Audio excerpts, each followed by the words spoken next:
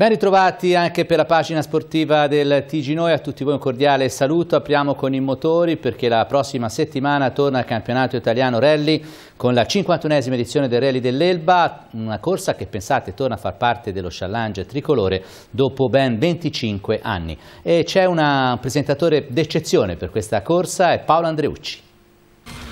Tra un targa Florio Nelba si è concesso anche un vermentino, inteso come rally in terra e sulla terra di Sardegna. Paolo Andreucci non si ferma mai anche perché sa, lui lo sa benissimo, che chi si ferma è perduto e lui per DNA e abitudine di vita a perdere non è mica tanto abituato, così sa che nulla va lasciato al caso. Ecco spiegata la sua partecipazione al rally dei Nuraghi e del Vermentino di pochi giorni fa. È infatti sullo sterrato che negli ultimi due anni ha pagato dazio pesante agli avversari e stavolta vorrebbe non fosse così. Intanto però si va ancora sull'asfalto, quello del 51esimo rally dell'isola d'Elba, che dopo un quarto di secolo torna nel CIR. Corsa bella, difficile e affascinante che il popolare Ucci, futuro assicurato da opinionista, presenta così. Rally dell'Elba, quest'anno un grande rientro di questa gara storica che ha fatto comunque la storia dell'Europeo e del campionato italiano, per cui tutta da vedere, tutta da seguire. Parte da Portoferraio venerdì 25 maggio alle 16.15 per disputare le prime 5 prove speciali diciamo del primo giorno. La gara è stata rivista per oltre il 60% del suo percorso, è stata inserita una nuova prova speciale a Porto Azzurro Volterraio di circa 14 km. Da vedere per chi non si vuole spostare la prova speciale dentro Portoferraio è una prova spettacolo di circa 2 km. In totale percorreremo 10 prove speciali, la caratteristica di questa gara è che ci sono tantissime curve perché il percorso non ti dà un attimo di respiro e il terreno è anche abbastanza viscido per cui andremo dal livello del mare su fino al, all'altezza del Monte Perone e ci sarà anche magari qualche cambio sicuro di temperatura e magari anche qualche cambio meteo. A Portoferraio all'arrivo sabato alle 17.25. A Rally dell'Elba ci sarà anche tra i piloti lucchesi anche Christopher Lucchesi, il giovane pilota di Bagni di Luca che punta ad essere protagonista e cerca il poker di successi tra le vetture GT. Soprattutto Christopher punta a prendere punti pesanti anche per il campionato tricolore junior, due ruote motrici. Siamo all'hockey, sabato sera ore 20.45 si gioca Amatori Lodi Forte dei Marmi, ovvero gara 3 della finale Scudetto. Si riparte con i giallorossi lombardi avanti 2-0 nella serie quindi con la ghiotta possibilità di fronte al proprio pubblico di vincere lo scudetto per il secondo anno consecutivo. Toccherà alla Forte dei Marmi di Gigio Bresciani rinviare o addirittura eh, cancellare la festa del Lodi accorciando le distanze e portando la finale a gara 4 che eh, si disputerebbe eventualmente martedì 22 maggio al Palaforte. Eventuale bella, qualora il Forte dei Marmi da 0-2 riuscisse a rimontare come tutti quanti auspichiamo fino al 2-2, eventuale bella ancora a Lodi, sabato 26 maggio. E sempre sabato al Palatagliate alle ore 18 si gioca la sfida che vedrà opposte l'Alpo B Villafranca e l'Infinity Bio Faenza. Parliamo di basket femminile A2. Si affrontano le vincenti dei playoff dei gironi nord e sud. Chi vincerà dovrà vedersela poi in gara secca eh, da giocare sul parquet di casa contro la meccanica Vigarano uscita sconfitta nel playout di serie A1.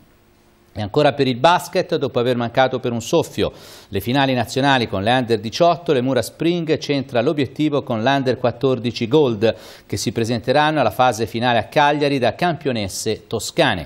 Con la vittoria contro la Polisportiva Galli di San Giovanni Valdarno, le giovani biancorosse hanno infatti ottenuto il titolo regionale con una gara di anticipo.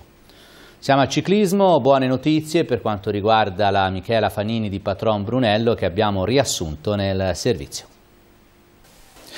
Due successi e due secondi posti, questo è il bilancio delle atlete ucraine della Michela Fanini impegnate in una serie di corse nel proprio paese. A farla da padrone in una gara a tappe che si è svolta sul Mar Nero nei pressi di Odessa è stato Lechka Sheker, 24 anni, che ha ottenuto due vittorie, una piazza d'onore e il gradino più alto nella speciale classifica basata sui punti raccolti in tutte le prove in programma. Nella stessa manifestazione è andata bene anche la campionessa ucraina Evgenia Vitosca, che ha conquistato un secondo posto e diversi piazzamenti nella top 10. Oltreoceano si è fatta apprezzare anche la venezuelana Lilibet Chacon, che ha sfiorato il podio finendo quarta nella prova cronometro dei campionati panamericani che si sono svolti a San Juan in Argentina. La Michela Fanini, agli ordini del direttore sportivo Mirko Puglioli, sarà impegnata domenica prossima a Bolzano nel Gran Premio Fiera, poi di nuovo all'estero per alcune corse in Svizzera. Sul fronte organizzativo è lo stesso Brunello Fanini a comunicare la chiusura delle iscrizioni per il prossimo Giro della Toscana internazionale dal 7 al 9 settembre, uno stop arrivato con largo anticipo a conferma dell'importanza della manifestazione e della volontà dei team di partecipare.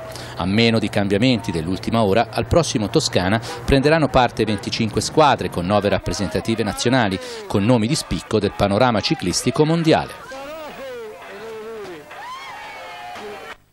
Sempre per il ciclismo, buone notizie per la conceria Zabri Fanini, la prima riguarda un rinforzo, dal Brasile infatti è arrivata Clemilda Fernandez Silva, una delle più forti atlete sudamericane, la seconda è legata. Alla partecipazione al circuito Winston-Salm Cycling Classic, una serie di corse che si svolgeranno negli Stati Uniti, in North Carolina, a fine maggio la squadra partirà il 24, intanto domenica il gruppo del patron Manuel al completo sarà impegnato a Bolzano al Gran Premio Fiera, una gara open. Siamo all'atletica, gioco di squadra e medaglia d'argento, un risultato meritato quello del trio Giannini Marsili Leonetti, categoria cadetti, che hanno portato la Virtus Lucca sulla seconda posizione, quindi la medaglia d'argento, ai campionati regionali di staffette di Sesto Fiorentino nella specialità 3 per 1000 metri sotto l'ottima conduzione tecnica di eh, Enrico Carelli che vediamo appunto nella foto con i tre ragazzi. Da annotare tra gli altri risultati anche la volata trionfale di Dario Fazzi negli 800 metri che ha migliorato il proprio personale di ben 3 secondi abbondanti portando a termine la prova in 2 minuti e 82 centesimi. Nella consueta Rossini corre, buone prestazioni per gli atleti di Lucca Marathon, Andrea Marsili settimo assoluto e primo di categoria e Mauro Polinelli ventiquattresimo e quarto di categoria.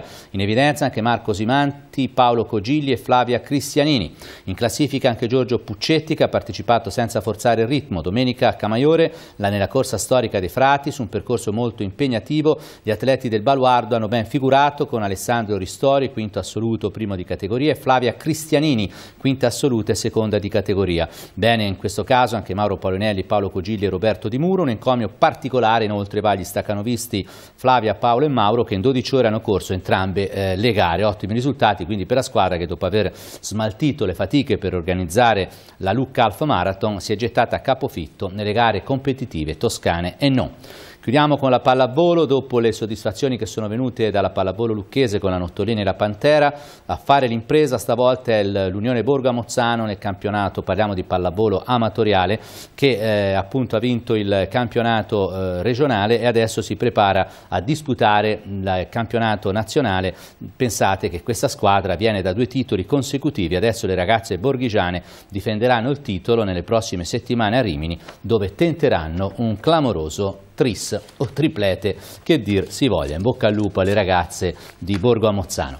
Bene, è tutto per quanto riguarda la pagina sportiva del TG Noi. Vi ringrazio per averci seguito fin qui. Dopo una breve pausa il TG prosegue con la terza ed ultima parte.